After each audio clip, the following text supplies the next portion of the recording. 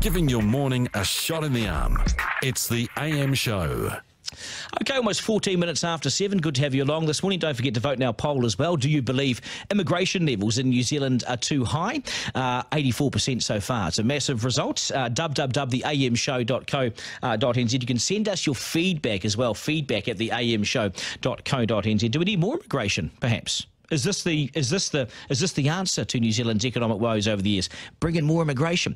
Uh, New Zealand's immigration trend has soared to a record high, as we know. Now, new figures out show a net gain of more than 71,000 migrants in the year to January. Now, that beats the previous annual record set a month earlier by more than 700 people.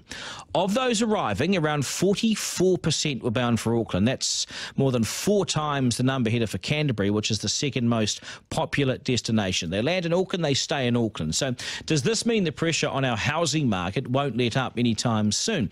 Executive Director of the think tank New Zealand Initiative, Oliver Hartwich, joins me now. Oliver, uh, welcome to the program. Good, good to have your company morning, this morning. Well, what do you what, what, what do you make of these numbers? Is it, is it a good or bad thing for New Zealand?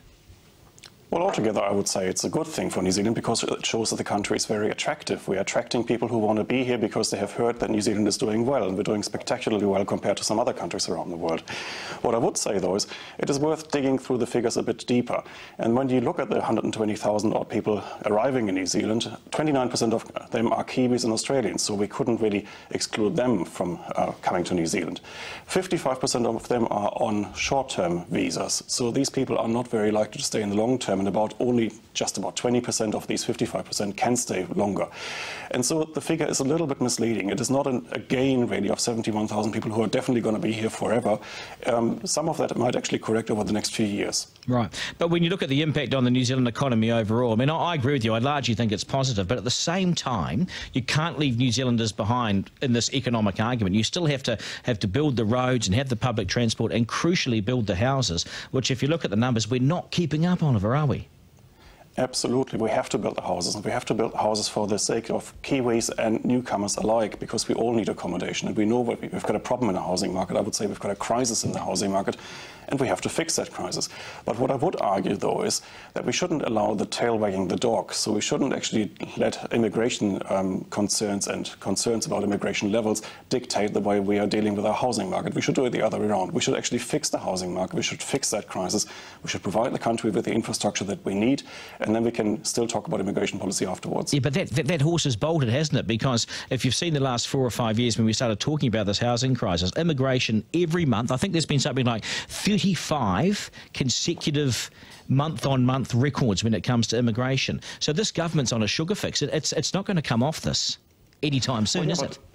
But, but if you're thinking back just maybe four or five years, that was a time when we lost about 40,000 New Zealanders every year.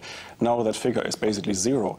So even back four or five years ago, um, we had a housing crisis and we weren't doing anything about it. So I think it is really unfair to blame the housing crisis entirely on migrants. It is actually something that we as a country haven't got right for a long time, and it's really time to fix it now. But, but, but, but isn't that the thing? Don't you have to join the policy? Don't you have to say, okay, we're into this immigration thing, we're an attractive country, we're doing well, we're at the top of very much at the top of the OECD rankings when it comes to economic growth. So we love this. We're enjoying the benefits of immigration, but we're not building alongside it, are we? We haven't planned that well at both central government and local government levels.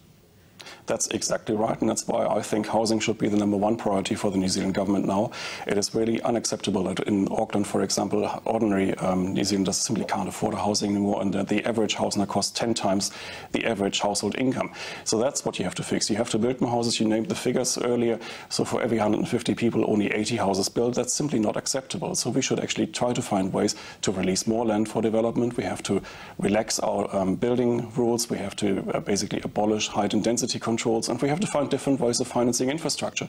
And if we do all of that at the same time, we have a very good chance of actually creating, uh, creating the housing that the country needs and fixing our crisis in the housing market. No, but do you think we can fix this quickly? I'm, I'm not sure. And all the politicians I've, I've, I've had on this program, no one says it's a quick fix. Nobody's saying we can fix this in the short term.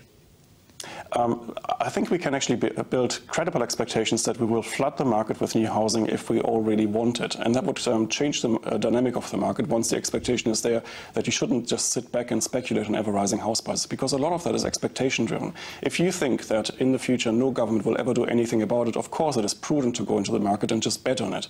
But once you actually see credible signals from politicians that we're actually getting serious, tackling that crisis, the speculative element of it will just disappear. Good on you, Oliver. Always appreciate time on the programme. Well said, well done. Uh, Oliver Hartwich. Uh,